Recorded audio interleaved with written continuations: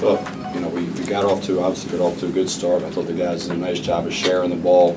Uh, We we did have some things that um, we- we emphasized after Friday's, night- after after Friday night's game that we have to get better at and continue to get better at. But I thought for the most part, that it's good to see some balance and to get some of the younger guys some minutes especially.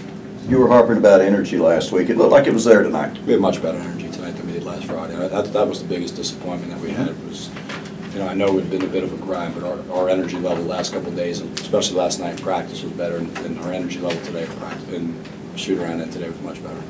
Reggie's uh, had the little nagging foot problem while he hadn't been playing more. He, he kind of broke out tonight. He looks like he's in the, in the rhythm. He's been banged up. I mean, he was banged up at the end of part of last year. He's been banged up a little bit this year. We missed some practice and hasn't really gotten into the rhythm yet. And and hopefully this will help him get, get back in rhythm. How did it feel tonight, Reggie?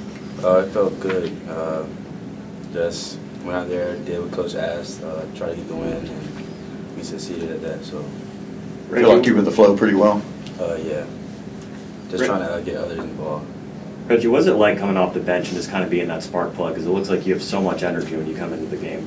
Uh, honestly, it's I mean that's that's my job, that's my role. So uh, feels good, I guess. uh, just trying just trying to get the win at the end of the day, honestly. So whatever it takes. In Meach, uh, I know you were really, really ready to get contributing on the offensive side of things. I know you've been a little down on yourself about that. You really broke out tonight. How, how'd you feel out there, and was this a really good thing for you? Um, yeah, it felt good. Um, it was really good just to, you know, actually be able to score the ball. But being down on myself, I haven't been down on myself about my offense at all. I mean, we all know that I'm a defensive player, and that's what I, that's what I aim to do is just be the best I can be on defense and worry about offense later.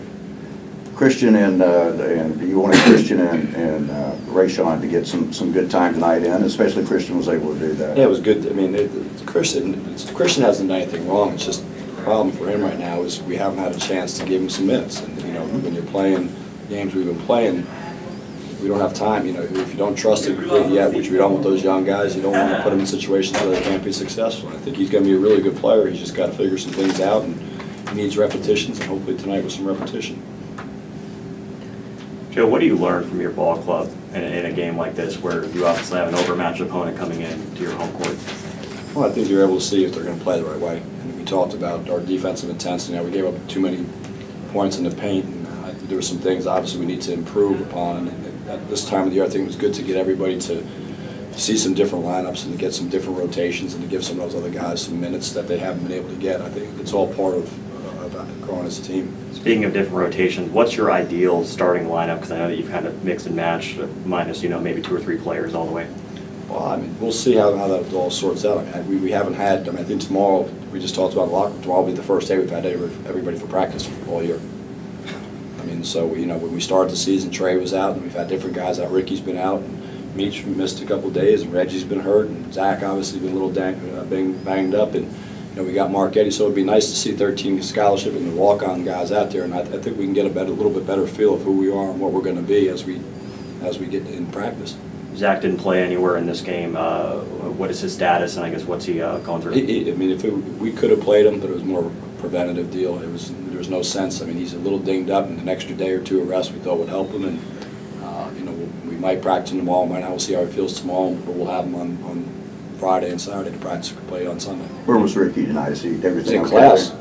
Oh, okay. Okay. class, you know. Okay. I said, hey, we go to class, that's all right. That's all right. Our APR is so good. By the way, all those points you gave up in the paint tonight, there were 18 of them. Uh, I know. Uh, Georgia Southern, three and three, uh, very tight game at North Carolina State. They got this, uh, they got this Smith kid that can apparently light it up. Twenty-two a game, and Tukey Brown was the preseason, you know, one of the players, the uh, preseason All-League player, uh, put up a lot of points, play a lot of different defenses, uh, predicted second in their conference. I mean, I think they, uh, you know, they had a tough loss to Mercer, but they bounced back and beat Radford the other night. I think they played them all night, or Thursday night. Uh, So we, we got some time to look, we've been watching a little bit of their deal, and very good team. They're very young, too. They're- They've got a lot of young guys in the rotation. I think they're, we're going to have our hands full. It's important to follow this up, isn't it, Meach? Oh, yeah. On, on sure. Friday night, or Sunday, Sunday, right? Sunday, Yeah. yeah.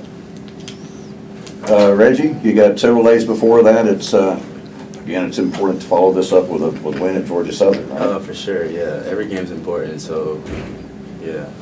Every every game's important, and uh, it's good for a follow-up, of course. Do you know anything about Georgia Southern yet? Uh, other than what Coach already said about the two players and the different uh, defenses they play. So. Reggie, what is it like being able to face a team where normally you only face uh, a team twice a year during conference play, and you're going to be facing Georgia Southern not only at their place, but then what here about a week, week and a half later or so? Sure.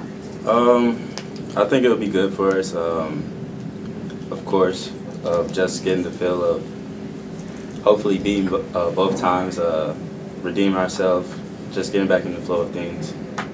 And you said you're normally a defensive player, Meach, so where would you kind of rank your defense right now uh, on a scale of, say, 1 to 10? One and two. As, as a team? As a Team team? defense? Mhm. Uh, that's a hard question. I would say a seven right now. Why is that? You knew you couldn't win with that answer.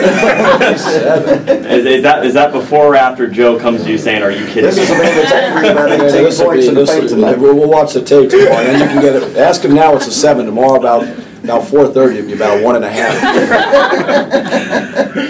But, but in all seriousness, Joe, I mean, how, how much how many steps do you need to take to be able to get to the A lot. place where you need No, I mean, to? To, to where, and, but, every- but it's early in the season. I mean, There's some things, we're giving up too many downhill drives, and we've got to tighten up our ball screen defense, but you watch games throughout the country, everybody is right now. No one's in their defensive uh, rhythm yet, and it's amazing to me, because you look at the scores, not just ours, it seems like the scores have all gone up. And right now, defenses aren't as good. Now, players are getting better, the rules have changed. You know, you can't chop cutters, you can't, you know, you can't do a lot of things. But uh, we, we need to guard the ball better, we need to get our ball screen defense tightened up. Did Brand, have, go ahead. did have uh, 12 steals on 20 turnovers. Uh, We're averaging 5.6 steals per 100 possessions coming into this. Is this more what you want to see on defense with your guards being a little more aggressive in the lanes? We've got to be more aggressive, higher on the floor. We, we've talked about it. We have done a good job being in, in position. We haven't done a good job of rotating the steal. We rotate to help, we don't rotate to steal. And we're there, we've got to make those steals. Now, Those are things we talked about. I think we were three, three eleven or three twelve in, in, in percentage of steals. Uh, Nationally, out three fifty-one or whatever it is, three fifty-three now. Uh, That, that number needs to, to to drastically come down. And the other things that, I'm trying to explain, we try to talk about this, it it translates into offense. If we need to steal it, we can play faster.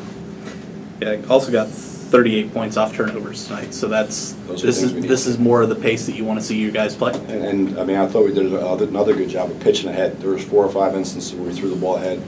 Uh, Not necessarily you score, but at least if you get the defense flat or have them, have them run back, now you can do some different. What kind of a luxury is it have?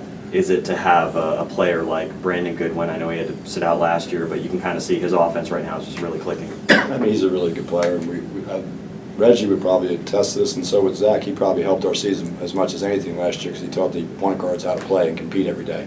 Because he doesn't take any, he doesn't take off. He loves to play. Uh, he loves to be out there. I mean, you know, he, he kept telling me the last ten minutes he was okay. I said, I know you're okay. I mean, he, he wants to play all the time. He likes to practice, likes to compete, and I, I think he can be a good change of pace guy. You know, he really changes the tempo of the game at times. Kind of jumping on that, Reggie, how much did you learn from, from Brandon last year, and, and how much is, are you kind of taking that in this year? Uh, I learned a lot, just the experience and uh, him being a veteran, talking to us, uh, just the pace he does, just everything. When you play against a guy like that who just brings it every single day, whether it's in the game or in practice, I mean, what is that like? Um, kind of tiring. I mean, he's like full throttle everywhere. So, I mean, other than that, it's a challenge I'm willing to take, and I like doing it. So, Anything else? Now that the, now the schedule opens up for you a little bit, um, because you're talking last week about six games in 14 days. With the schedule opening up, what are some of the things that you want to work on having five days until Georgia Southern and another five to CN after that? No, we've got to give them off a day, so, I mean, we'll, we'll, we've got exams next week too, so I, that, those things tweak a little bit, but it'll be good to work on us. We've been spending a lot of time preparing for other teams. Now this will give us a chance tomorrow to, uh, refine something. Like I said, it'll be also good to have a full roster in practice. It'll be fun to, uh, you know, the poor post guys, they've been out there and they haven't had any subs, but Mark and Ricky haven't been out. Now all of a sudden it's Meach and, and whoever he's partnered with against you know, if it's him and Trey, it's against Kevin and Ray, and, and now they didn't have a sub. It'll be good, I think it'll, it'll help practice. I think last year about this time, we started getting better because we were able to practice some, so hopefully the same thing will be this year, we get some reps in. When you look in the mirror and kind of self-scout, what do you see? I I think the, bad news is I think we got, we have a bunch of things we have to work on. The good news is we've got a pretty high ceiling. I think most of those are good things.